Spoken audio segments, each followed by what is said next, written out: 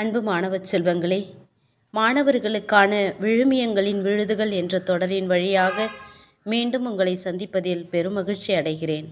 என்ன குழந்தைகளே அனைவரும் நலமாக இருக்கிறீர்களா? உங்களை நீங்களே ஆசிர்வதித்தீர்களா? தொடர்ந்து செய்யுங்கள். இன்றைய சிந்தனைக்கு அன்பு. அன்பு என்பது ஒரு சிறந்த பண்பு. இந்த அன்பை நீங்கள் கொண்டிருந்தால் இவ்வுலகையே உங்களதாக்கிக் கொள்ளலாம். இதற்கு ஒரு சிறந்த எடுத்துக்காட்டு. காந்தியடிகளிடம் கேட்டார் கோபாலகிருஷ்ண கோகலே. நீங்கள் உங்கள் தாய் தந்தையரோடு காட்டு வழியே போய்க் கொண்டிருக்கிறீர்கள் என்று வைத்துக்கொள்வோம் அப்பொழுது திடீரென ஒரு புலி பசியோடு பாய்ந்து வருகிறது. நீங்கள் யாரை காப்பாற்றுவீர்கள்? இக்கட்டான இக்கேள்வியை கேட்டவுடன் சில நொடிகள் யோசித்தார் காந்தியடிகள்.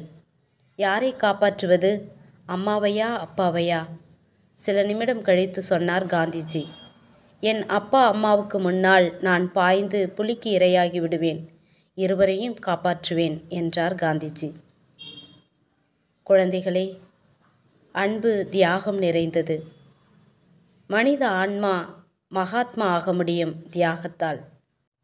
குழந்தைகளே அன்பு தியாகம் நிறைந்தது.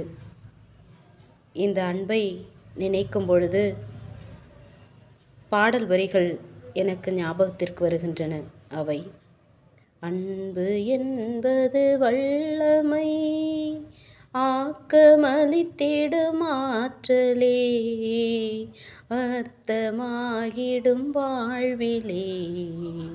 அன்பு என்றும் வாழுமே அன்பு என்பது வல்லமை.